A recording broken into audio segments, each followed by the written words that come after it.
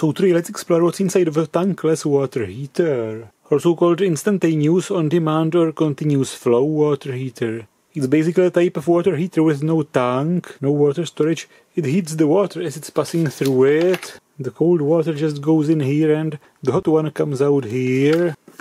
Here's the back of it. And it comes partially pre-disassembled. But now let's explore it a bit closer. Here's the label of it. Appliance must be earthed or grounded. And there's a very good reason for this. There's no tank in it. The total volume of it seems to be just 0.1 liters the maximum pressure 1 megapascal and it can use 200, 220, 30 or 40 volts, AC 50 or 60 hertz, and various powers for various voltages. Here the voltage is 230 volts, so it's going to be about 3.5 kilowatts, a bit over 15 amps. And of course it's a resistive load, so the current is the voltage divided by the resistance, and the power is the current times the voltage. Which means the current goes up linearly with the voltage, and the power goes up with the square of the voltage. Let's try to put it in my calculator and this calculation Ohm's law with power calculates the current from the voltage and power and also the resistance of the heater about 15 ohms. Of course the numbers on the label are rounded, there is some rounding error, but it's about right. Now instead of entering the voltage and power, let's enter the voltage and current. And for example 200 volts from the label. It says 13.3 amps. And it again gives about the right power and again about 15 ohms resistance of the heater. And it says the resistivity of water has to be higher than some value, which also has a good reason for it. It was donated, so big thanks for the donation. But now, of course, let's take a look inside of it. Let's remove the sticky tape. The screws are already removed. This comes off. That's it. All the screws and parts here. And here's the heater and its control board and some mechanisms here. The main cable comes in here with the ground. Here seems to be some setting for the temperature, some switches, some overheat protections probably, and this is also pre-disassembled. There's like some transistor triac or something switching the heater element in it. This is also pre-disassembled. It's also using the water to cool this one and the water basically flows through these channels. This of course was mounted on it using multiple screws and there was a seal and the same thing on the other side. There was the other cover with multiple channels going several times one way and the other and the other seal and some more screws. And these covers the connections between the channels so it loops multiple times and the heater is only in two of these channels the other channels are empty. And why the channels are actually there?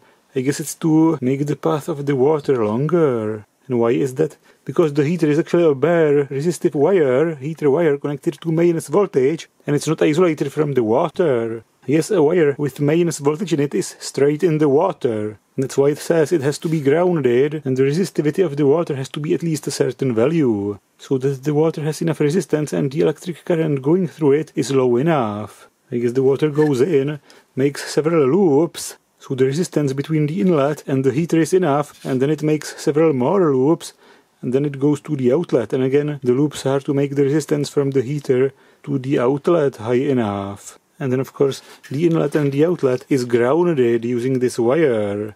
And it seems to be using 1.5 square millimeter cable to it with this European plug. My friend gave it to me and he says the only problem in it is that these seals are broken. There's a broken piece here and he asked them whether they actually supply these seals as a spare part and he replied they don't. You can't buy this seal separately as a spare part. So basically when this stupid piece of rubber fails, you have to buy an entire new heater.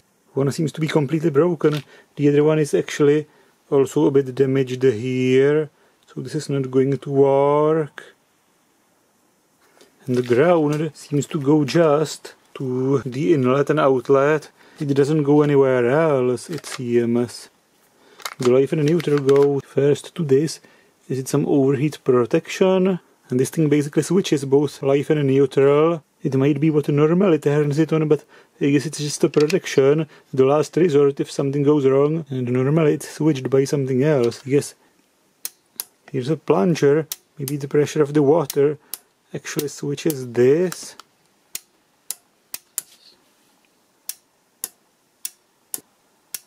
it's off normally and it's on when this is pressed and the live and neutral go through this first then both go through this thing and then one of these terminals goes straight to the heater and the other one probably goes through the triac for regulation. So it doesn't just switch on and off, it can regulate the power to heat the water to the selected temperature. And here's this connector going to the temperature sensor and TC it says here. Let's just verify this thing's normally on. And this is normally off. The neutral goes straight to the heater from this switch and the live goes through the triac through the other end of the heater. It's basically two heaters, two spirals in series and on the other side they're just interconnected here and the heaters really are just spirals of a bare resistive wire with no insulation and they're straight in water.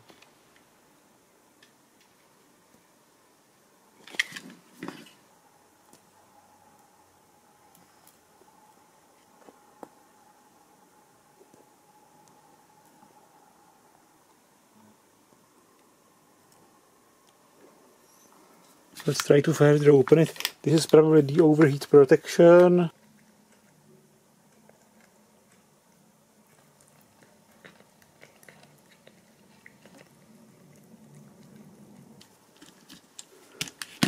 It comes out.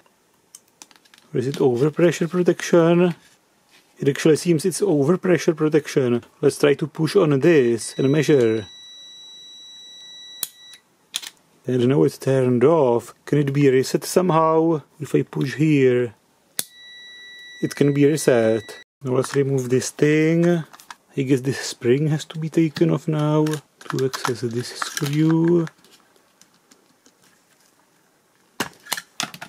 Now this comes off. And one more screw. And there should be some membrane, I guess. And that's it the water comes from here it goes in through here and pushes on the membrane from this side and it actually pushes it this way and pulls this shaft in and this turns it on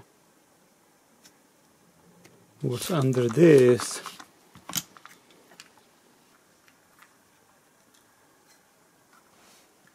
It looks like a check valve, a one-way valve, so the water can't flow backwards.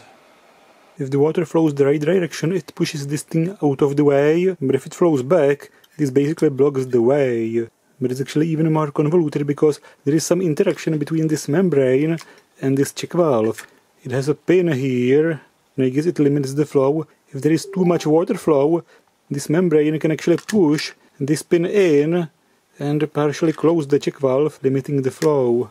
And now of course the schematic of it. The water goes in here through a grounded metal section and a protective mesh and it continues into several loops. But before and after the loops, it also goes into this membrane chamber and the membrane operates the switch turning the heater on. It's on when the membrane reflects this direction and when the water is flowing, there would be already probably a bit higher pressure before the loops than after them, but to amplify the pressure differential during the flow, there is actually a restriction, a narrower section, and based on Bernoulli's principle, the faster the flow, the lower the pressure. The total energy in the water remains constant, so if it flows faster and has a higher kinetic energy, it has to have a lower potential energy and thus a lower pressure here. And because there is a higher pressure here and a lower pressure here, it moves the membrane in this direction. And then it continues into the heater, the first half of it, and the second half and between these halves there's the check valve and after going through the heater the water gets to this NTC thermistor temperature probe and then several more loops and then it goes out through a grounded metal section. But on top of this all, it seems that when the membrane deflects too much in this direction, it will push this check valve partially closed, so the water flow doesn't exceed a certain limit. And now the electric part of it. This is a triac with an insulated tab, 800 volts, 40 amps and a 50 milliamp gate. Is some big diode. Let's try to remove the board to see it better. This contact came off. This nut will come off. This contact. This big screw. And then I can remove the entire board. And that's it and a closer look at it. This thing is not a diode, it's a 470 volt metal oxide varistor protecting the triac against overvoltage spikes and the triac is switched by this opto triac 300 milliamp 800 volt opto isolated triac and this opto triac basically switches the gate of the big triac then there are two big film capacitors both of them 680 nano 305 and 310 volts AC but for some reason each of them different one is connected straight to mains as an interference suppressor and the other one is a part of a capacitive dropper power supply for the microcontroller. The capacitor has some inrush resistor in series, some parallel discharging resistors, a bridge rectifier and this drops the voltage and rectifies it and produces a voltage for the microcontroller. There is probably some limiting zener and then it goes into this 5 volt low dropout voltage regulator there is a capacitor before the regulator, the capacitor after the regulator. Here's the microcontroller and the potentiometer to set the temperature. Three indication LEDs it seems. Some small resistors and capacitors around the microcontroller. Here's the input from the NTC thermistor. The potentiometer to set the temperature has this dial on it. And of course a closer look at the microcontroller and here's the regulator, the potentiometer, the capacitors, the LEDs and here's the power section with the optotriac and this metal oxide varistor and that's basically it. There is no voltage going into the board when the water is not flowing because these contacts are off and when the water is flowing it brings the mains voltage into this board, neutral going straight into the heater and live going into the heater through the triac and the circuitry regulates the phase angle of the triac based on the temperature the NTC thermistor is sensing. And the sensor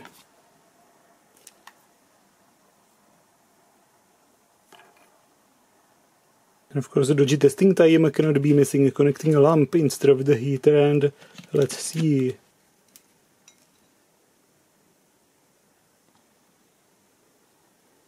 And the lamp is getting dimmer as it heats the probe and now it's pulsing.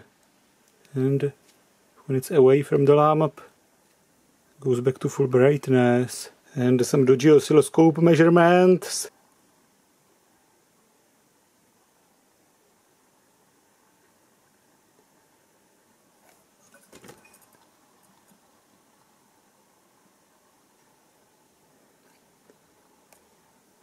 It's actually not regulating the phase angle, it's just omitting cycles.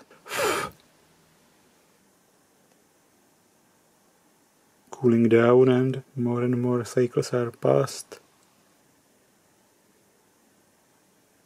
Your lights must be nicely flickering if you have high impedance wiring. And the resistance of the heater relay is 15 ohms as I calculated. So that's this tankless water heater, which would be still usable if you could buy spare seals for it. That's it and if you like my videos, please consider subscribing, using the thanks button or supporting my channel on Patreon proportionally to the value you received from my videos. And big thanks to all of you who already support me. You keep this channel running.